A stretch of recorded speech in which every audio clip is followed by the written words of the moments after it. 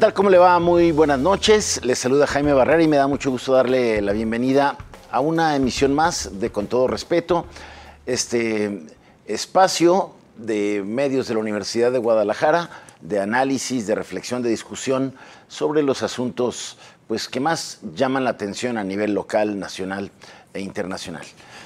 ¿Cómo estás, David? Bien, Jaime, eh, contento de estar acá, muchos temas como siempre. Erika, ¿tú cómo estás? Bien, muy bien, muchas gracias, bienvenidas, bienvenidos. Contenta también de estar aquí, Diego. Muy buenas noches, gracias Erika, David, Jaime. Y pues sí, vamos a empezar porque está que truena el ambiente. Jaime, ahora sí ya.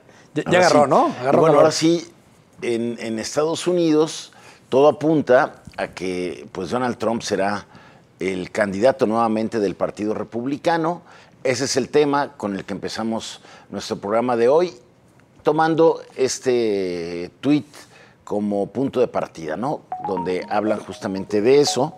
Es un tweet de Hilser, HW Hilser, dice, Trump felicitó y agradeció amablemente a Ron DeSantis por una gran campaña. Algunos ven atentos los ataques políticos de ida y vuelta, pero debería darse cuenta de que la política es un deporte de sangre. De Santi respaldó a Trump porque se da cuenta de su Trump o Biden. Sus partidarios deben seguir su ejemplo, David señala. Eh, eh, en la política norteamericana hay una tradición bien interesante en la que se refieren a los expresidentes como presidentes. Nunca se les quita ese estatus. Se habla de ex senadores, ex diputados, ex gobernadores, pero al presidente se le llama presidente hasta el día de su muerte. Y por eso Jimmy Carter, que sigue vivo a sus casi 100 años, se le llama presidente. Y en esta ocasión, donde todo apunta efectivamente, como lo decías, a que Trump va a ser otra vez candidato presidencial, habiendo sido ya presidente y a quien se le refieren como presidente todos los republicanos y los no republicanos, Va a haber un duelo, si Biden es también el candidato presidencial, que todo apunta a que así sea, va a haber un duelo entre presidentes. Claro, uno en condición de expresidente y otro en condición de presidente en funciones. Pero a los dos se les llama presidentes. Y esto es la primera vez que ocurre en más de un siglo. Y eso no solamente es un tema de estatus y de la manera en que se refiere, sino la calidad de un expresidente es muy importante en Estados Unidos y esta es la primera vez en lo que se tiene conciencia de la política moderna norteamericana en que un expresidente se vuelve a presentar a la elección y contiende contra un presidente que se presenta a su reelección. Por eso es de pronóstico reservado. Viene, viene de ganar en Ohio, Trump, luego en New Hampshire renuncia de Santis. porque... es hoy porque iba a perder, ¿no? Pero iba a perder de Santis, por eso más bien en se un ratito más tendremos resultado. Queda como contrincante en el republicano una política republicana. Nikki Haley. Nikki Haley. Nikki Haley. Sí. Eh, mira, yo creo que es muy interesante lo que puede pasar con Nikki Haley porque ella es de Carolina del Sur, hasta donde entiendo, y las y creo mañana o esta misma semana también es Carolina del Sur, ¿no? Después de hoy New, Hampshire. Sí. Eh, yo sinceramente creo que Trump la tiene ganada. lo que pasa es que simbólicamente, como dice David, que el candidato sea presidente, incluso ejerce política y simbólicamente mucha fuerza, y mucho poder sobre todo mundo, ¿no? Y parte de lo que comenta mucha gente es que él quiere ejercer ese, esa política o ese, ese símbolo de fuerza aplastante eh, para ganar adeptos de manera aplastante, así literal, ¿no? Entonces, yo no creo que, la señora Haley llegue. Le va a este, ganar en South Carolina. Sí, pues por, es, es que es su estado, pero al final va a tener que cederle el paso a Trump. El que no estoy tan segura que llegue a ser candidato, y ya mucha gente lo pone en duda, es Biden, ¿no? ¿Quién sería?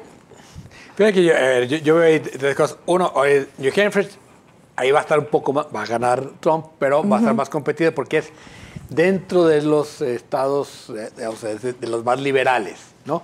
Y ahí votan todos, no solo los del Partido Republicano. Cualquier gente puede ir ahí demócratas a, hacerle la mala jugada a Trump. O, cualquier persona que no sea demócrata o republicano, si quiere participar, participa. En South Carolina, efectivamente, Trump tiene más adeptos, a pesar de que Nikki Haley fue gobernadora eh, ahí. Lo que yo veo es, ahora, Haley se tiene que mantener porque es la última que queda. Entonces, le da igual. ¿No? Es decir, ella se va a mantener porque lo que va a buscar es ser la candidata de la fórmula a la vicepresidencia. Sí. Yo no, eh, no veo tan derrotado a, eh, Joe Biden. ¿No? Todo lo contrario, sí me parece que la única opción que tienen los demócratas es mantener a Biden. ¿no? ¿Por qué? Porque Biden en su estilo aburridísimo de Sleepy Joe, ¿no? Este, como le dicen en Estados Unidos. Porque se queda Finalmente es muy eficiente. Es decir, este, su, su candidatura, el que derrotó a Trump hace cuatro años fue él. El único que lo puede volver a derrotar es él. Ningún otro de los precandidatos republicanos. Eh, no más que no se nos quede dormido en el debate. Pero en una de esas es ah, mejor. Los dos están seniles. A ver, este, también eh, ha cometido muchísimas pifias últimamente Trump, ¿no? A Nikki Haley le, cambió el nombre la semana pasada, pero sin querer. No, la confundió. La confundió está con Nancy pensando que es Pelosi. Sí, sí, la sí. confundió con Nancy Pelosi. O sea, no me digan que está muy cuerdo. hay dos candidatos de, digamos, de edad muy avanzada, eh, pero pues que Trump tiene tiempo políticamente muy fuertes los dos. Sí. Eh, finalmente, a, a Donald Trump todas las impugnaciones, los señalamientos, todos los juicios que ha perdido, como habíamos dicho aquí, pues lejos de lo que no mata, engorda. no, no, no, por supuesto. Y de hecho es posible que pudiera ser un candidato que compita hasta desde la cárcel. Los escenarios más fatídicos plantean que el detenido con arresto domiciliario sancionado, al contrario, se reforzaría su campaña. Déjeme volver al tema de los demócratas, porque lo que está sucediendo en el Partido Demócrata es que no hay alternativas. Es decir, a diferencia en el republicanismo, que sí hay algunos más que se han ido bajando y subiendo, en el demócrata no hay absolutamente nadie. Kamala eh, pensaba que iba y, finalmente no contendió. Entonces lo dejaron solo. De hecho, la bronca con los demócratas es pensar en quién puede ser la fórmula de vicepresidenta, que seguramente... Normalmente cuando el presidente quiere reelegir no le salen o sea, nadie se mete. No, históricamente ¿No? pero siempre hay uno que otro que levanta la mano para negociar alguna cosa. Aquí no hubo nada. Biden ha sido uno de los mejores presidentes demócratas en términos de todos los indicadores, pero el electorado americano y la sociedad americana están tan polarizados y tan nacionalistas que ya no vende bien los logros y los buenos resultados de esta gestión. Por eso Biden se está empezando a mover mucho más en el código, en el tenor que el propio Trump, para ver si entusiasma y moviliza gente.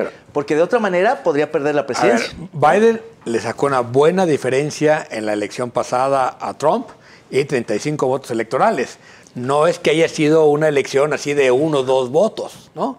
Fueron 35 votos electorales lo que le ganó. Entonces, a mí me parece que si los demócratas mm, logran medio mantener el statu quo, que esa va a ser su apuesta. y la otra es que la gente vota Trump o anti-Trump. Es decir, exactamente, es un plebiscito yo creo que el anti-Trump también está muy alto, no solo el los, los 35 votos electorales, hay que recordar que el sistema electoral norteamericano, los votos electorales son por los estados. Entonces, en realidad ganaron, ganó los tres o cuatro estados que le dieron esas diferencias. Pero esos estados los ganó por muy poco margen. Si cualquiera de esos estados se revierte y por la misma mínima diferencia de dos o tres puntos lo gana Trump, se voltea y van a ser 35 para el lado republicano. Entonces, en realidad está mucho más cerrada de lo que se pretende, pero efectivamente, lo que vas a decir, la elección va a ser una elección plebiscitaria como la de la mexicana de López Obrador, anti-López Obrador, allá será Trump, anti-Trump. Trump en, en, sus discursos para ganar simpatía, como lo hizo hace ocho años, también ya empezó con el asunto de agradecerle a México los 25 mil soldados gratis, cómo va a cerrar las fronteras, ¿Hasta qué grado va a influir la elección de Estados Unidos con la elección mexicana? Fíjate, hay cosas que se revuelven mucho. La Suprema Corte acaba de determinar, y es un tema que lo vamos a ver, que Texas revierta tomémoslo, tomemos ese dato. Es decir, no todos los republicanos y mucho menos los gobernadores fronterizos están alineados con el discurso de Trump. Trump está otra vez oscilando del el antimexicanismo a una suerte como de ironía de agradecimiento a México. Bueno, George Abbott sí estaba en la línea de, Trump. Ah, incluso mucho más fuerte. Y la corte le mandó quitar sus boyas y sus alambres. No así California. Es decir, varía mucho, no están tan alineados. Yo lo que creo es que Trump está poniendo a bailar a su paso, a su son, a todos Estados Unidos. Sí, incluido su partido, incluido el demócrata, incluido las instituciones, incluido la frontera. Es impresionante cómo Trump determina la agenda americana. Claro, por, el poder Y seguramente va a influir en, la, elección mexicana, ¿no? Muy bien. Bueno, pues ahí está el tema de lo que está sucediendo en, Estados Unidos y donde, pues tal vez, lo más probable es que veamos nuevamente a Trump en campaña. Desde luego vamos a estar atentos y seguramente... Vamos a tener que apostar porque yo no sería tan seguro, ¿eh? Apostamos. Una buena apuesta, una, es momento, apuesta. un momento. Yo, yo creo que Biden se reelige. ¿Va a ir quién? Biden se reelige. ¿Tú crees? Ah, Biden, pero, pero de que Trump es candidato. Ah, sí, eso sí. Ah, bueno, eso sí. A ver, ¿y tú quién gana, Erika? ¿Trump yo o creo, Biden? Yo creo que Trump. Trump. Que Trump le gana a Biden. Sí, yo creo que sí. ¿Tú? Híjole, yo también creo que Trump le puede ganar a Biden. Déjame ir con Biden entonces. Yo voy Biden. Ahí está. Ah, bueno. Ahí están ya las apuestas. De- Muy bien. de- después- con, después con las apuestas nos vamos a la pausa. Quédese con nosotros, regresamos.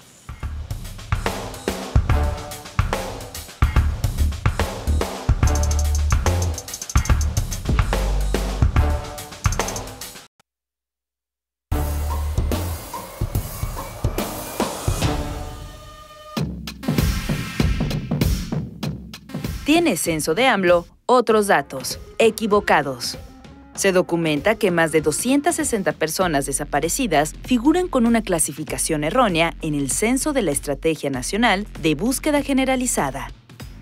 Casos mediáticos, víctimas que no han sido vistas, desde la guerra sucia y personas cuyas familias informaron en las jornadas de búsqueda que no habían sido localizadas están registradas como ubicadas sin confirmar su identidad o sin datos que permitan hallar a quien reportó el delito.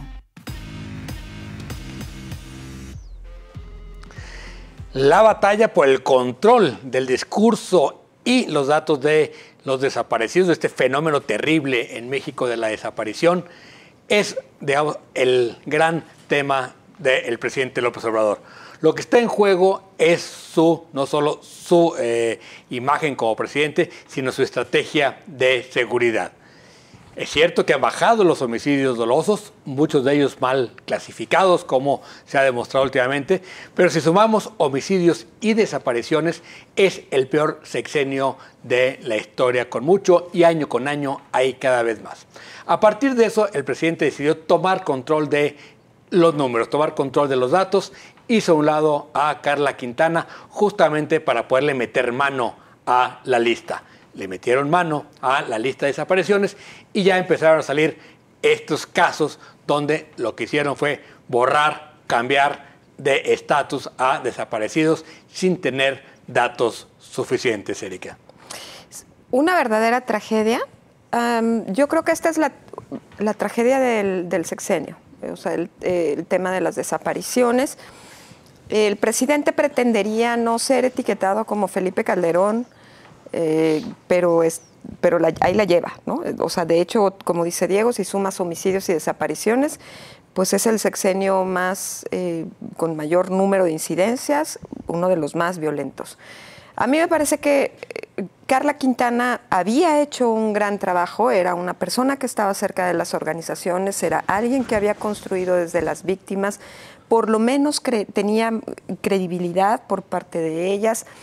Y su salida, pues, obedece a esto que hoy estamos viendo, ¿no? A la entrada de los, de los servidores de la nación a hacer este padrón, que es un padrón ofensivo, ficticio, es un padrón en el que ni siquiera dejan claras las categorías, ¿no? Porque, ¿qué, qué significa ubicado? ¿Qué significa este, sin datos para su localización? O sea, es, esa categorización que arman no tiene ni siquiera una definición.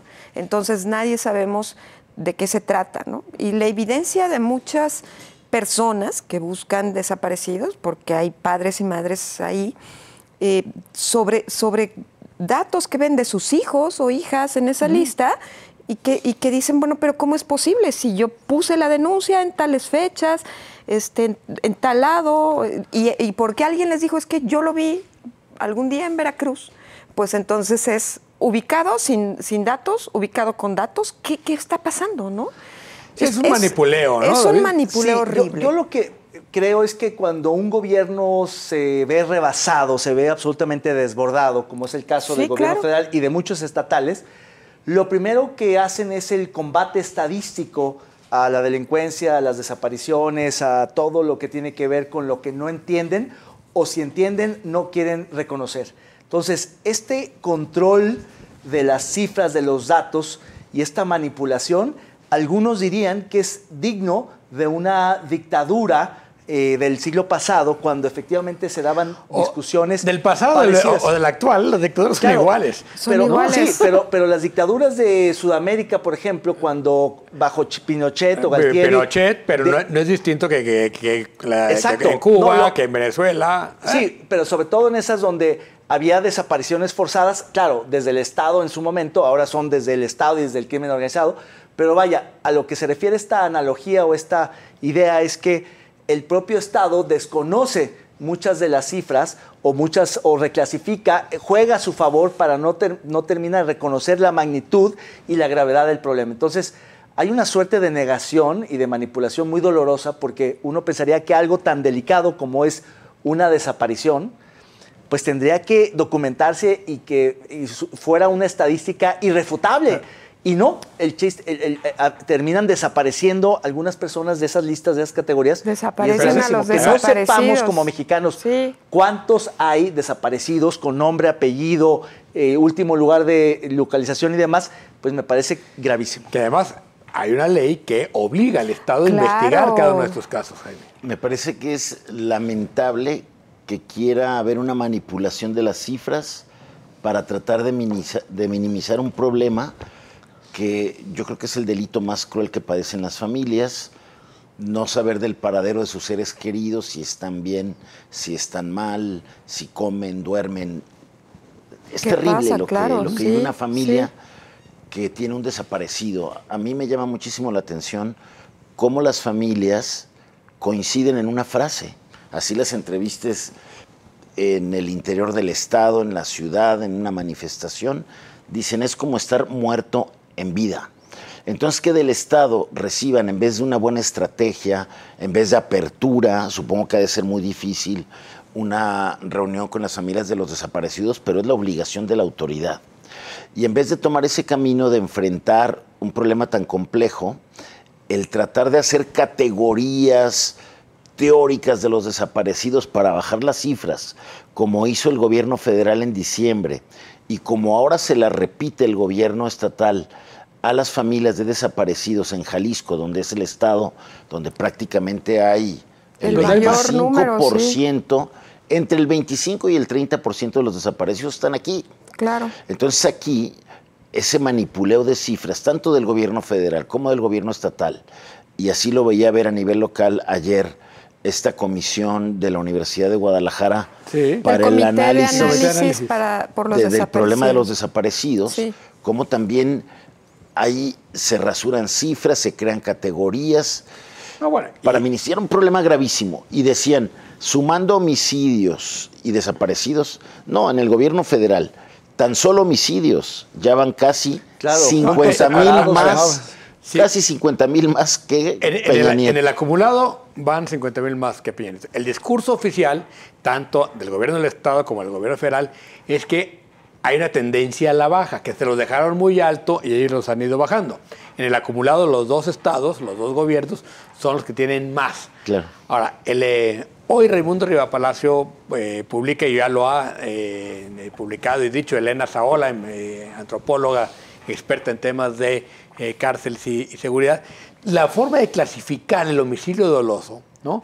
Fue la estrategia, por ejemplo, con la que bajaron los cifras en la Ciudad de México. Claro. Y ella demostró que en Ciudad de México lo que hizo eh, Claudia Sheinbaum y Harfush fue bajar a través de clasificar de una manera distinta los homicidios, ¿no? Claro. Y entonces los ponen como culposos, los ponen como dudosos, ¿no? Y no están clasificando correctamente. O aquí como lo pusieron, aquí lo pusieron como homicidio violento. Violento. y la otra es que Qué ridículo. informan de carpetas, pero no del número de víctimas. ¿no? Entonces, todos estos multihomicidios aparecen como uno solo. Entonces, hay toda una forma de manipuleo de las cifras en lo federal y en lo estatal que es verdaderamente ofensivo. Si vamos a eso le sumas el fenómeno de la desaparición, ¿no?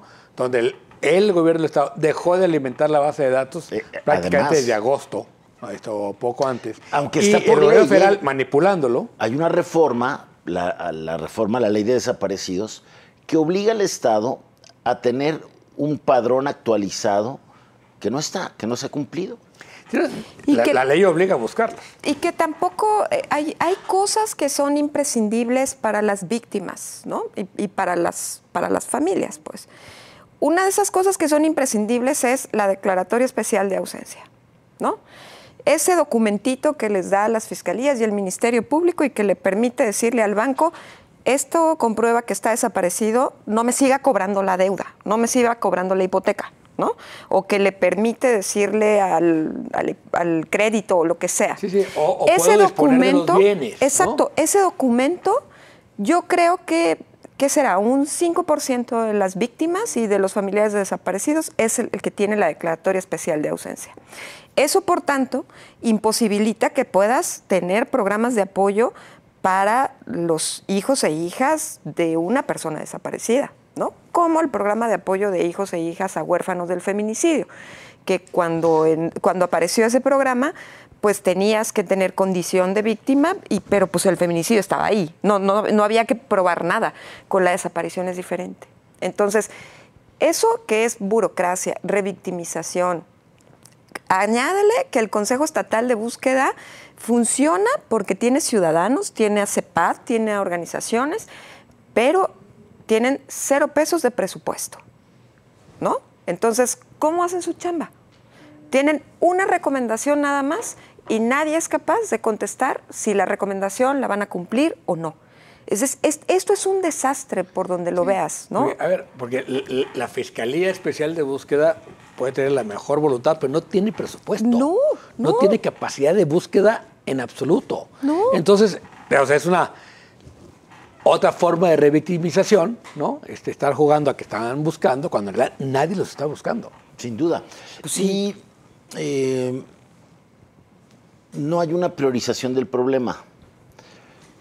Si, el problema de los desaparecidos es el principal, creo que en, en asignación de recursos a la Fiscalía, a los temas de justicia, tendría que haber eh, existido un incremento exponencial como el problema en los últimos cinco años. No, pues nada. Tengo la impresión de que en el cálculo político, político electoral de las autoridades respecto a este problema, tanto federales como estatales, existe la idea, equivocada supongo, pero la idea de que les va a salir menos costosamente, políticamente hablando, eh, no darle esa priorización presupuestaria, eh, mediática, institucional, que supondría dar un golpe de timón y darle 300% más de presupuesto y hacer ruido y tal, que tratar de contener, minimizar, manipular y achicar el problema. Es decir, si hay desapariciones es gravísimo, pero mejor ni le muevas demasiado, ni que, no se organicen los colectivos, las madres. ¿Ve qué grave es que el gobierno eh, se preocupe más por hacer esos cálculos. un control de daños? Claro a su imagen. claro, que puede resolver el problema. E, eso es mezquindad política. Sí, eso se llama mezquindad política. Y, más, y, humana, ¿no? Porque yo creo que hay un tema de insensibilidad frente a la, tragedia y al, y al, dolor humano. Es decir, ni modo, háganse mensos, no le muevan para no crecer y que no se nos revierta electoralmente. Que no hay una factura política. No, no, y, que, además lo presuman, ¿no? Eso, eso es terrible.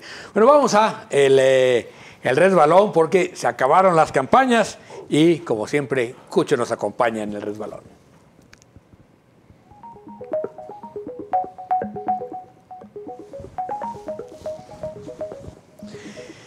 Se acabaron las pre-campañas y todos los recursos, los mensajes a los para, eh, ¿cómo decía? A, militantes y simpatizantes del partido político, gastos a la todo, todo se va a la basura, Erika. Claro, pues como todos los años, ¿no? Este, de verdad es que Creo que cada vez es más ofensivo lo que vemos en las calles y lo que vemos en los medios de comunicación en términos de lo que invierten para las pre-pre-campañas, las este, campañas internas, ahora las intercampañas y después viene la campaña.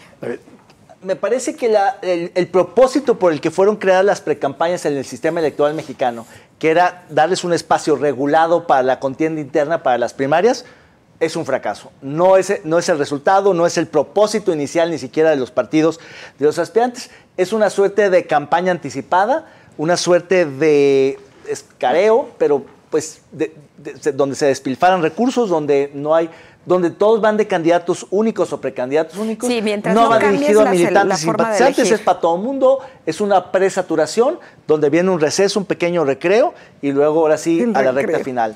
Es una campaña en dos tiempos. Es una simulación, porque la precampaña real empezó desde eh, junio. Fue junio. Con las corcholatas.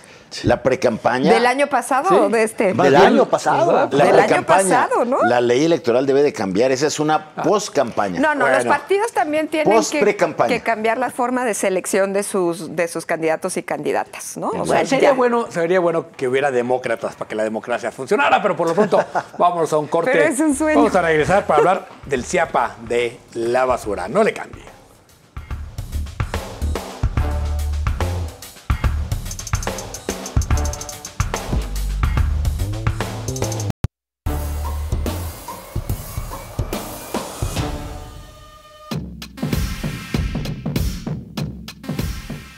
Durante la pasada sesión del Instituto Metropolitano de Planeación, se aprobó la creación de una agencia que haga la gestión integral de los residuos, con lo que inicia el proceso para sacar a CAPSA de la ecuación.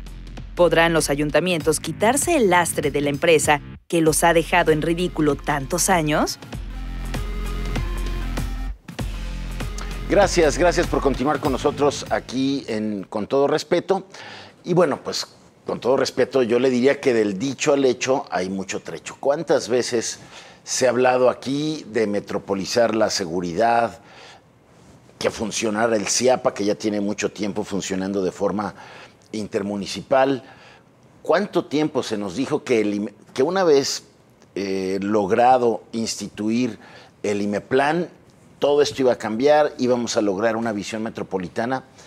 Que todo ha quedado, Diego, en los escritorios, en los discursos. Hoy, le, hoy echar las campanas a vuelo por este acuerdo creo que nos hace ver un poco ingenuos. Sí, pensar que, que CAPSA se va a ir así fácilmente, eh, ¿no? Eh, sí hay todo un tema ahí, digamos, de, de, intereses políticos cruzados con el tema de la basura. Y CAPSA va a hacer lo que ha hecho cada vez que lo amenazan con que se va, movilizar a los pepenadores, generar una serie de de, pequeñas crisis. Dar más dinero para las campañas. en las campañas políticas como un dadivoso contribuyente. Mecenas. La otra cosa es que llamarle el CIAPA a la basura en este momento me parece que es una pésima Es, es riesgosísimo.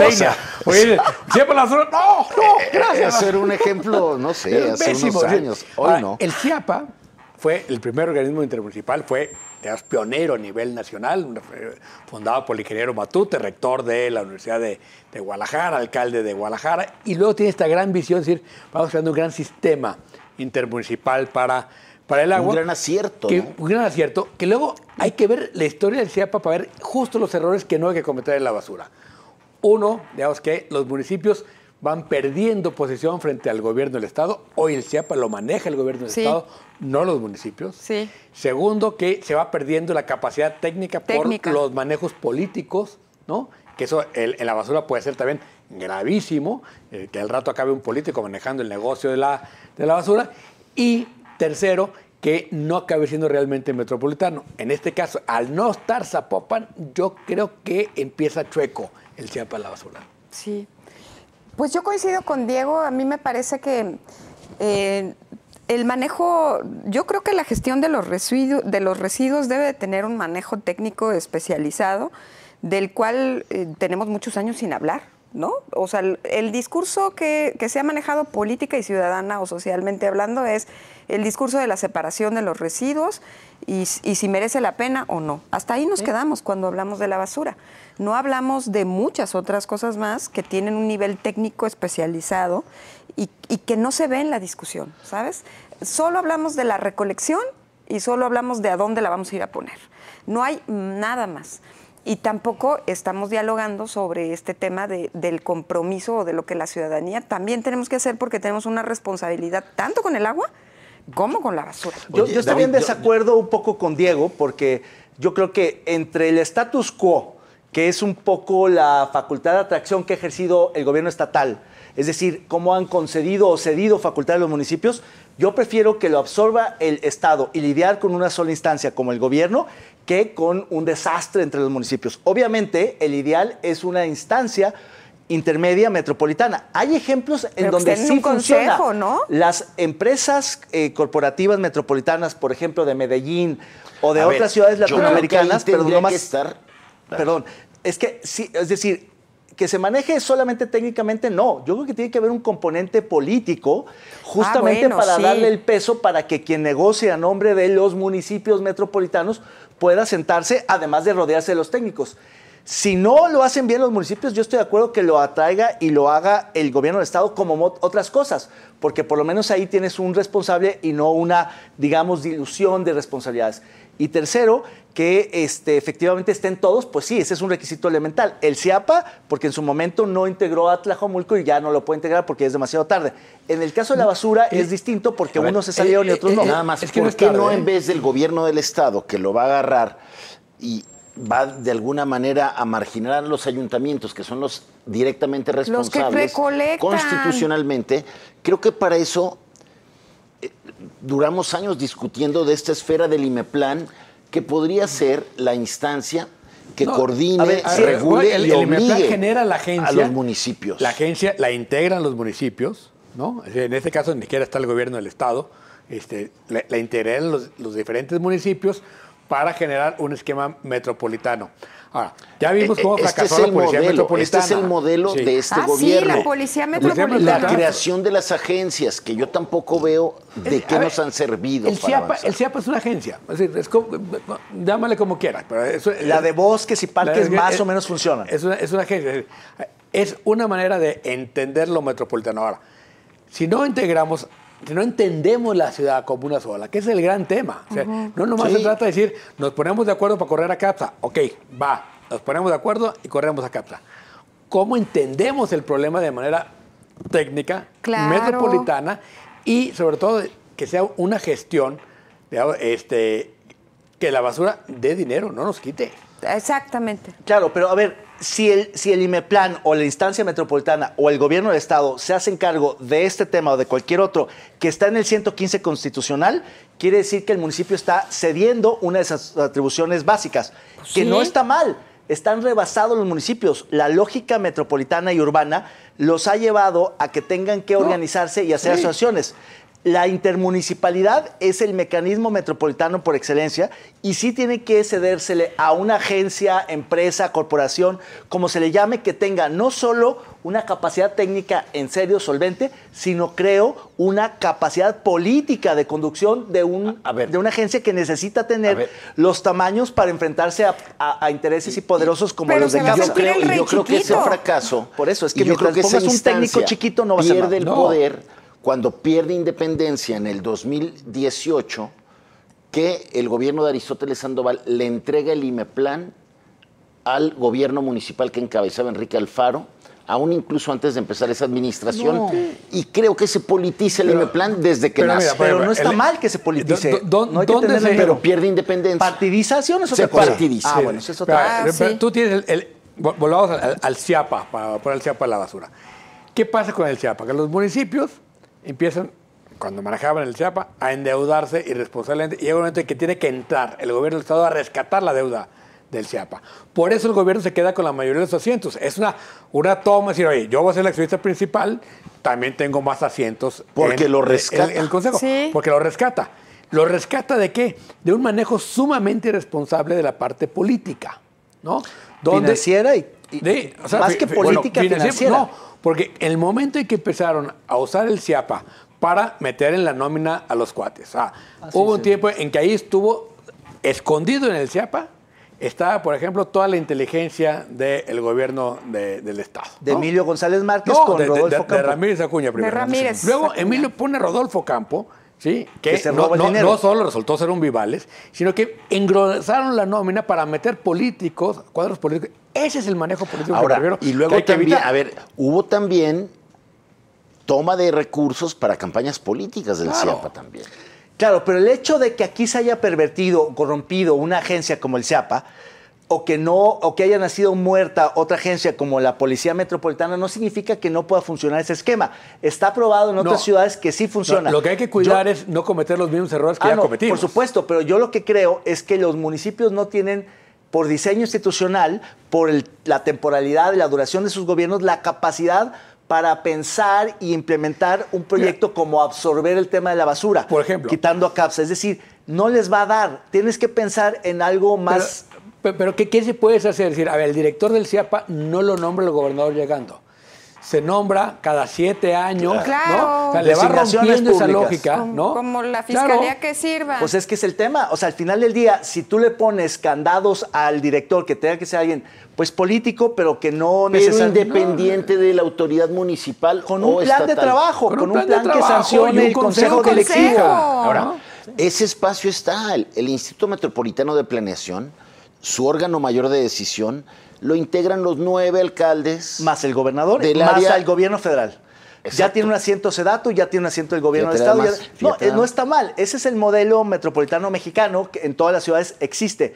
Lo que no tiene suficientemente, me parece, es capacidad política, peso político. No tiene poder. Patricia eh, Martínez, Es, una directora técnicamente solvente, pero políticamente inexistente. Eh, exactamente. Que es subordinada de Alfaro, que no tiene margen de maniobra, que no se atreve a levantar la voz, que se, que, se pliega a los vecinos. Lo que habrá, lo que el problema, y que fue nombrada por el gobernador. el problema es que sea no, la manera de nombrar. Exacto. El tipo de nombramiento te marca la Siempre acabamos en el mismo tema. Sí. A ver, y, y creo que también tenemos que consignar cómo no hemos avanzado, pese a que ha habido por lo menos tres momentos importantes cuando el PAN dominaba todos los municipios metropolitanos. Luego el PRI los dominó completamente. MC. los ha dominado completamente. Y nadie puede hacer nada. Y a lo mejor ahora viene Morena y tampoco se va a avanzar en, lo, en esa visión metropolitana. Porque se requiere más que un solo partido, se requiere una eso, eso ya quedó política, claro. Claro, Y se requiere una visión metropolitana, es decir,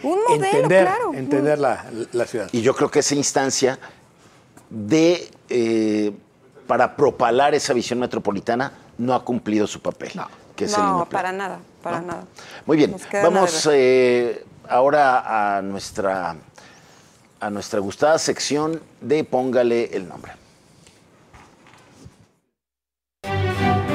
Los curadores más experimentados de Con todo respeto han preparado esta exquisita pieza de arte visual. Por favor, que no pueden tener excedente del puesto.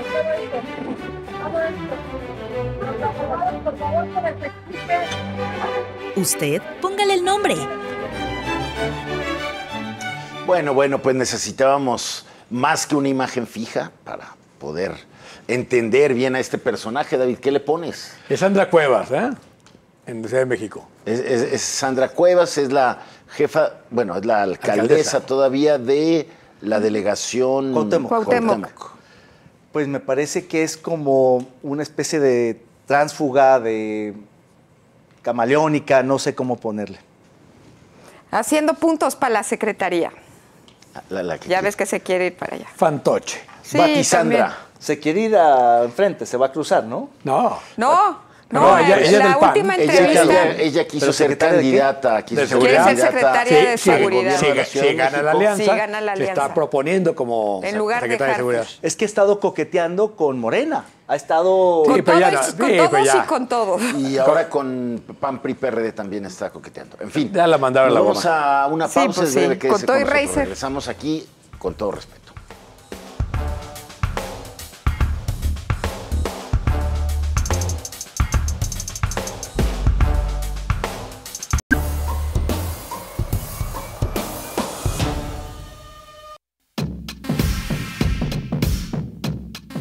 De los 14 militares que permanecían en prisión por el caso Ayotzinapa, uno ya fue puesto en libertad hace unos días y se espera que ocho salgan en las próximas horas. No obstante, la situación jurídica de cinco aún está pendiente, por lo que continuarán presos.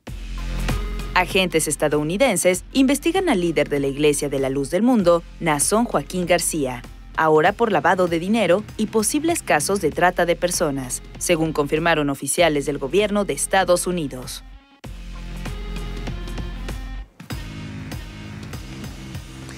El caso Yotzinapa sigue haciendo agua y es otro de esos temas que se le complican al presidente de la República hacia el final de su mandato.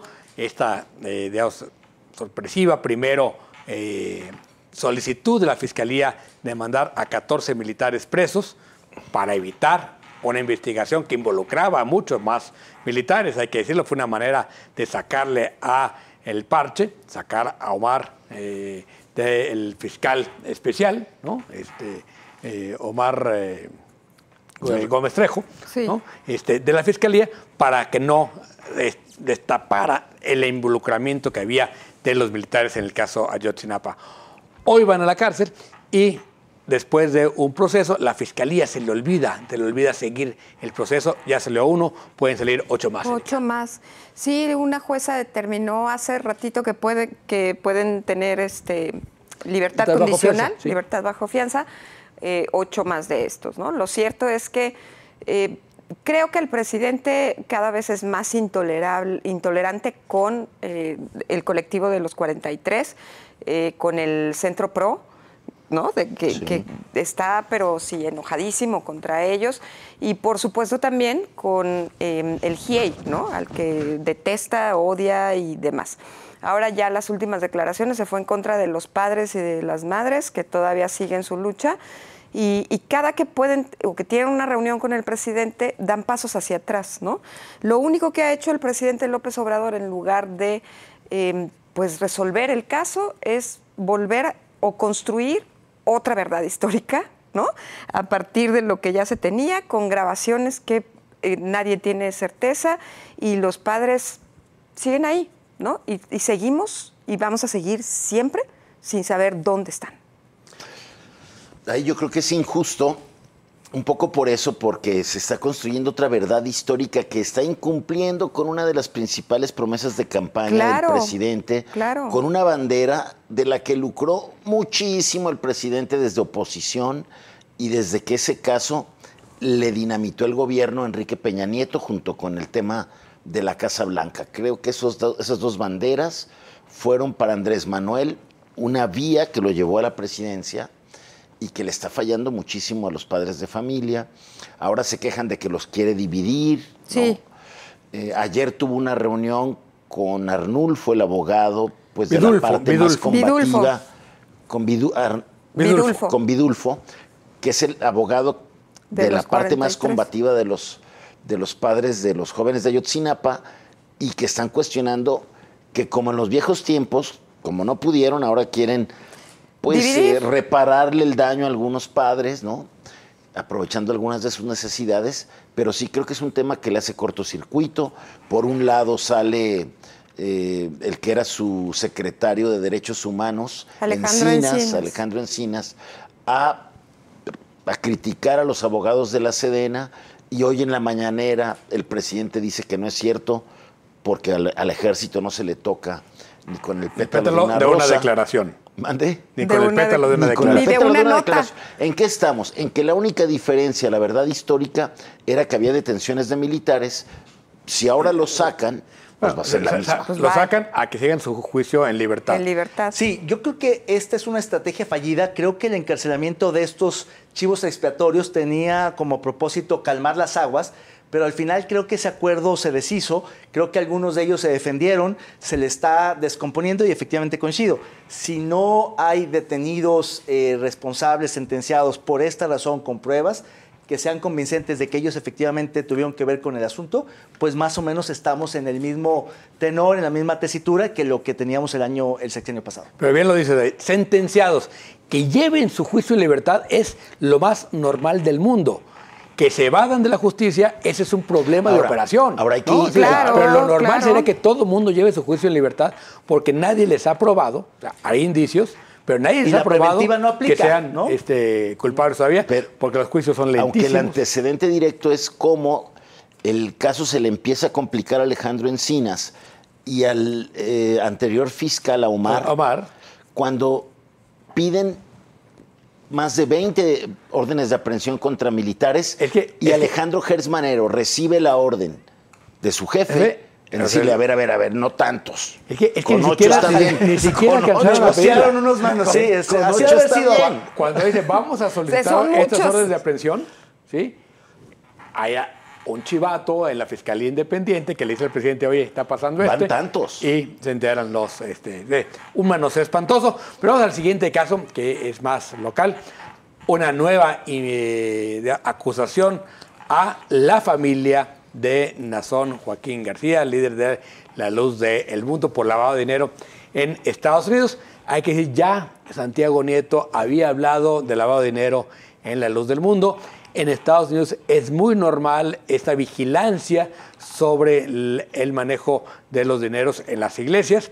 Este es una, se está abriendo una investigación en la ciudad de Nueva York que es distinta a la segunda investigación federal por pornografía infantil que también tiene Nazón y distinta a la acusación estatal que es la que, el que lo, tiene este, ahora en prisión, que fue el juicio que vimos en California y que terminó declarándose culpable. Le está lloviendo fuerte a la luz del mundo, Jaime. A, a mí me parece sumamente interesante esta figura que la justicia estadounidense va a buscar para tratarlo de inculpar por el desvío que hacía de las limosnas o de las ayudas para la iglesia para llevar una vida de dispendio y ni el primero ni el último, y de lujo. O sea, ¿cómo prefiguras un delito así en un tema que no es de recurso público? Vamos, me parece muy interesante ¿Qué va a argumentar la justicia estadounidense para darle otros años de cárcel? a mí me parece todavía más interesante que toda esta discusión se lleve en gran medida en el extranjero, que las aquí no autoridades ni tres milímetros de... no ni se enteraron, incluso les dieron reconocimientos, premios de la vista ah, gorda, y todo ocurra en Estados Unidos, no solo para este caso, para muchos de los crímenes de los eh, mayores criminales, todo, si no es Estados Unidos, del Santiago, Santiago Nieto que, investigaba a todos y hablaba y que no tenía freno y que siempre hablaba antes de tiempo por ser ese protagonismo que tiene Santiago Nieto, sí dijo, estoy investigando a la luz del mundo por el lado de dinero. Después de eso se fue, llegó Pablo Gómez y como que la Virgen le habla. Ah, Pablo Gómez no existe. ¿No?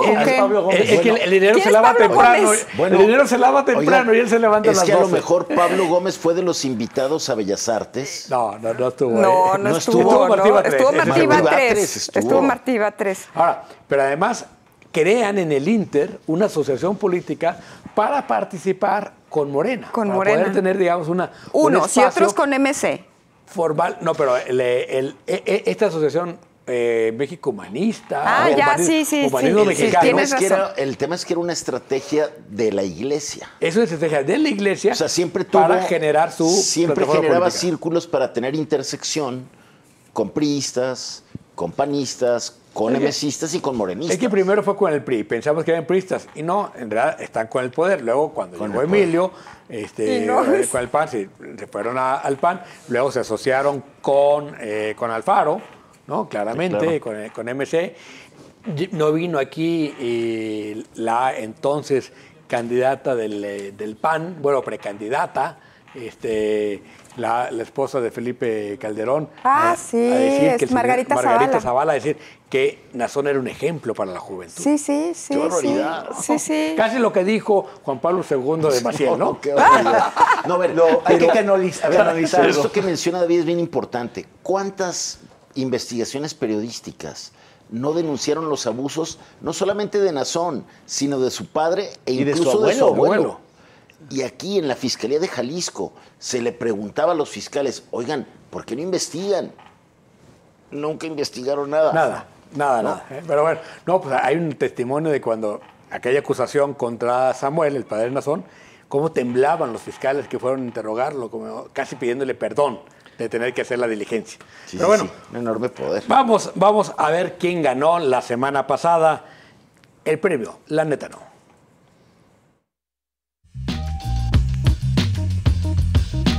El premio La Neta No para lo más lamentable de la política y el servicio público de esta semana es para Ricardo Sánchez Beruben, coordinador de estrategia de seguridad por sus inversiones en Jox Holding. No se cuida ni él solo. ¡Enhorabuena! Pobre. Bueno, pues ahí está, volvió, volvió a ganar David, tu candidato. Se, ve de que está metiendo mano, ¿no? sí, estoy, estoy operando las encuestas. Además de la neta, no, ya lo anda investigando la Contralora porque, porque no, declaró su, su inversión ahí en Fox Holding. sí, es de los funcionarios, creo, más eh, solventes, aunque con esta omisión habrá que ver cómo sale la investigación, pero pues es víctima de un delito al cual, por cierto, le advirtió su propio jefe. El gobernador les dijo, no inviertan en esas tonterías, son, son, son, son Pero, fraude. Por, eso dijimos, no, hay que ver si puede ser que el con víctima. Bueno, vamos a proponer el semana o no, rápidamente. Veloz, veloz, veloz. Yo a la Vilchis por permitir, porque está en la encuesta de Morena para la alcaldía de Puebla. Ah, la, la, la que nos la dio la, quién es quién es yo, yo sí tengo a alguien que proponer. Alguien que se decía priista de hueso colorado y luego se dijo naranja de médula y ahora está vendiéndose al mejor postor. Salvador Caro. Salvador, Caro. Perfecto. Con eso dos nos vamos. Muchas gracias por habernos acompañado. Nos vemos la próxima semana. hasta la próxima.